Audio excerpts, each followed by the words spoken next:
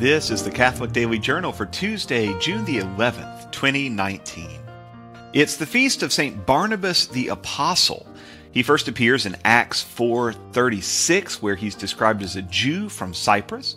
In Acts 14, he travels with Paul to a number of destinations before making their way back to Jerusalem for the council around AD 50. Tertullian argues that Barnabas was the author of the letter to the Hebrews, and Colossians implies that he was the cousin of St. Mark, the gospel writer. Tradition holds that Barnabas was martyred at Salamis on his homeland of Cyprus around 61 AD. His description in Acts 11:24 sums it up nicely. Quote, Barnabas was a good man and full of the Holy Spirit and faith. It's also Kamehameha Day in the great state of Hawaii.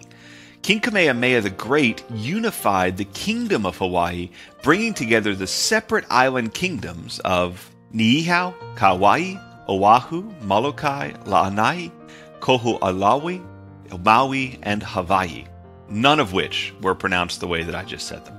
King Kamehameha was born in the mid 18th century on the big island of Hawaii as the nephew of King Kalani'opu'u. Kamehameha was the right man at the right time. Some Westerners were taking an interest in the island paradise when Simon Metcalfe, a British American trader, made a pig's breakfast of a simple trade deal, which then turned into the so called Olowalu Massacre. The other Westerners agreed to train Kamehameha's armies in tactics and gunpowder after that mess. A few more well timed deaths and storms and a handful of lucky moments, combined with some top notch military thinking and, of course, gunpowder, was all that King Kamehameha needed to consolidate the various tribes and kingdoms under his rule. But he wasn't just a conqueror, he was a top notch king and ruler as well.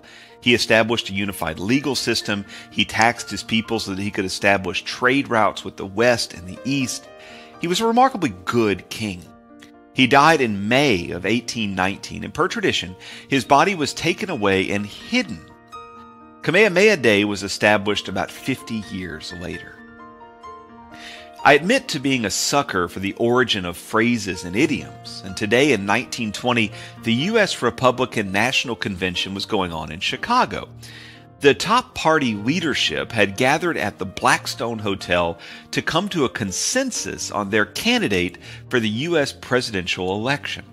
Their choice would be Warren Harding, who would carry the day over Democrat James Cox 404 electoral votes to only 127. But the discussion had all the hallmarks of a backroom deal in an old boys club.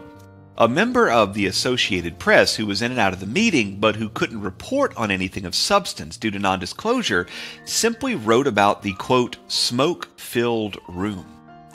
The phrase has come to be associated with cronyism, power plays, and deception, and the image of wealthy and powerful men smoking cigars and making decisions without any reference at all to the actual will of the people has been a constant accusation against both U.S. political parties for decades, and things don't really seem to be on track to change anytime soon. Still, the phrase itself is so wonderfully evocative and descriptive.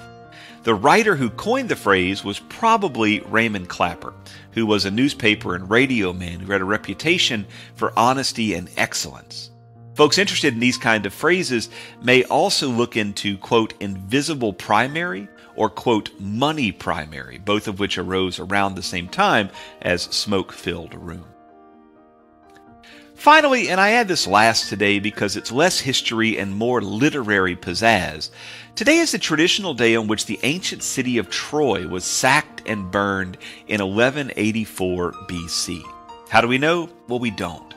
We have some speculation and some math, but we just don't. I include it here because it's the best we have, and it's a day worth commemorating, even if it happened at some point around 3,200 years ago. The Catholic Daily Journal is supported by listeners like you. For more information, visit CatholicUnderground.com. And until next time, be on the lookout for the Lord at work in your life.